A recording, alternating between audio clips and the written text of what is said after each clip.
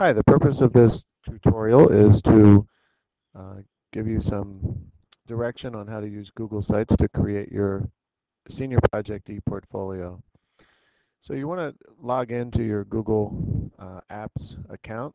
You should have received instructions on this from your English teacher. And you want to go to um, you want to go to your uh, start page and it should look like this and there should be a link here for Google Sites.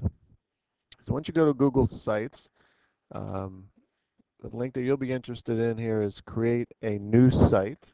So when you click on that, you have some options. And those options will be to give your site a name and the URL for that would be right here if you want to save that to go back to it to see how it looks when it's not in edit mode. You have uh, optional site categories, optional site description. This one right here is very, very important. If you leave this right now as it says collaborate with everybody at Webster CSD, that means any other student can not only just look at your portfolio, but they can also edit it. So you need to change that to only people you specify can view this site. Uh, later, um, you might change it to this. Anyone in the world can view this site, but right now, um, only people I specify can view this site. Then you can check out the uh, themes, make it any color you wish, and let me get move this over here, uh, and then create site. I already have a site created, so I'm going to go back to my sites, and um, I have uh, a template that's already created. And what I want to do here is show you a couple things, how to create a new page and how to edit a page. And so if I want to create a new page, I, I see what do I need for a new page? So I might need, um, let me see what I need. I'll go to the senior project web page. I'll go to Google Apps and ePortfolio information. I'll click on the template and the template comes up. Oh, wrong one. Where to go?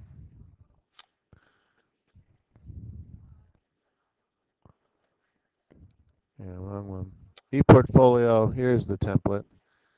So I need a proposal page, a mentor bio, time logs, photo journal, all these things. So I go back here and I create a page. So I'm going to call this my mentor bio.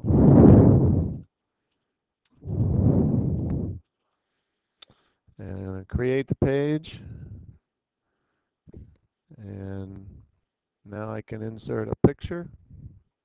So I'm going to insert an image. I can find it on my computer. Let's see if I go to my documents and my pictures and um, I don't have many pictures, do I? Uh, there's a picture. I'll put a picture of myself in there.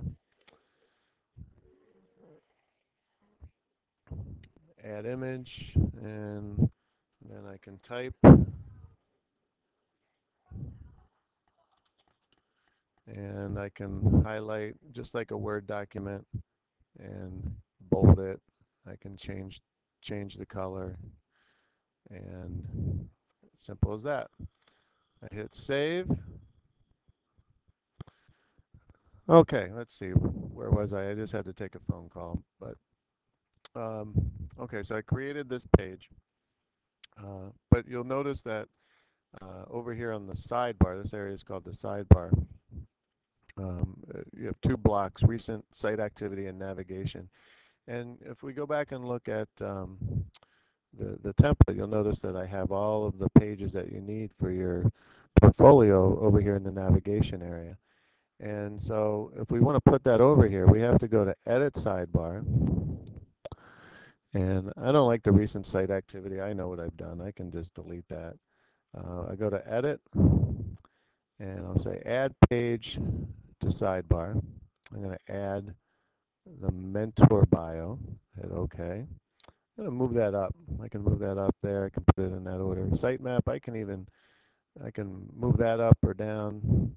I could just get rid of it, which I think I'm going to get rid of it just so it's a cleaner look. hit OK, hit Save Changes. Changes have been saved and go back to Return to Site. So now I have Home, Home Page, and I have Mentor Bio, that's right here. And again, I can go in and edit that, and I can insert images, calendars, spreadsheets, presentations, um, video, can embed video, uh, all sorts of things.